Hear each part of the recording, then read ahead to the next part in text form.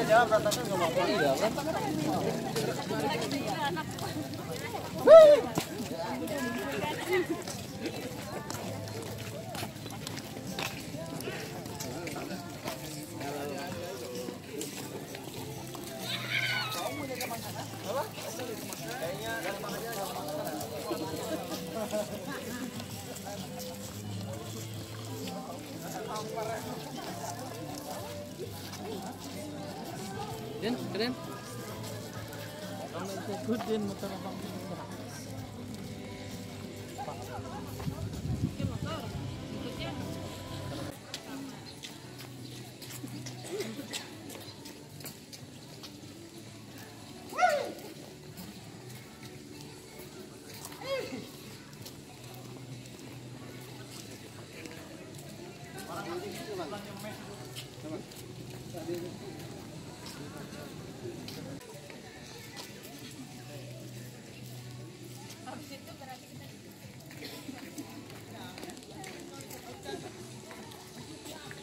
Kasih jadi untuk kegiatan peringatan HUT IAD Ikatan Adiaksa Dharma ini serta apa eh, Hari Bakti Adiaksa ke-59 di Kejaksaan Negeri Skadau menyelenggar- menyelenggarakannya dengan eh, sederhana akan tetapi kita upayakan meriah.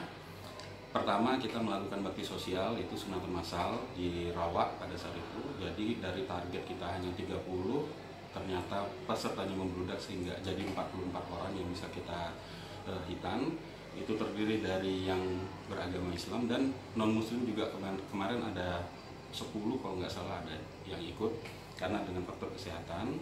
Terus hari ini kita sambung dengan kegiatan pekan olahraga dimulai dari jalan santai setelah pembagian prize pada saat ini. Kemudian nanti minggu depan baru dilanjutkan dengan kegiatan olahraga yang lain internal dari pegawai Selanjutnya siang nanti insya Allah kita akan adakan tausiah pengajian karena ini bertepatan dengan hari Jumat. Dan ke, kebetulan saya juga ingin pamitan kepada rekan-rekan semua karena insya Allah saya tanggal 17 akan naik haji beserta istri. Mohon doanya. Jadi setelah itu rangkaian berikutnya pada tanggal 22 Juli akan dilaksanakan eh, upacara HUT IAD serta upacara Hari Bakti Adiaksa mungkin bukan saya lagi yang menjadi inspektur upacara tetapi PLH namun saya harapkan semua kegiatan dapat berjalan dengan lancar.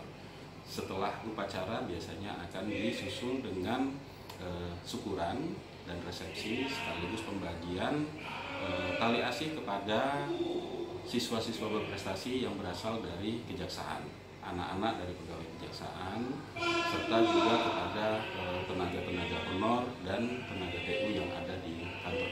Skadau.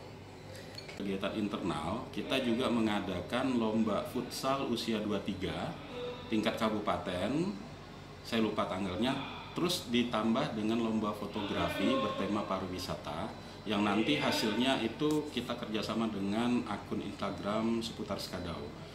Nanti pemenang ada dua, di situ pemenang favorit dengan like terbanyak dan pemenang yang kita pilih dari segi eh, apa, fotografinya yang paling bagus. Dua foto yang jadi pemenang dari lomba fotografi tersebut akan kita serahkan ke Pemda sebagai salah satu upaya untuk eh, promosi pariwisata yang ada di Kabupaten Skadau. Jadi selain kegiatan internal, kita juga ada kegiatan eksternal, bakti sosial pada masyarakat dan juga hubungan dengan Pemda ke apa olahraga serta kepariwisataannya. Tadi untuk lomba fotografi itu pesertanya dari mana? Pesertanya bebas. Yang penting eh, memfollow akun Kejaksaan Negeri Skadau dan seputar Skadau. Jadi kita melibatkan anak-anak muda yang ada di Skadau ini untuk mempromosikan pariwisata karena mereka lah yang biasanya sering datang ke tempat-tempat pariwisata dan di Skadau ini ternyata banyak tempat pariwisata hanya belum terekspos.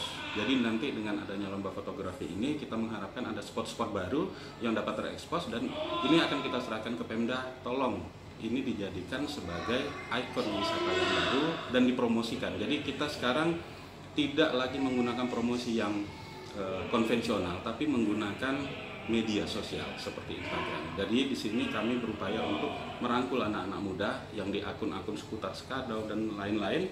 Mari kita sama-sama untuk membangun Skadau dengan cara yang kreatif seperti ini.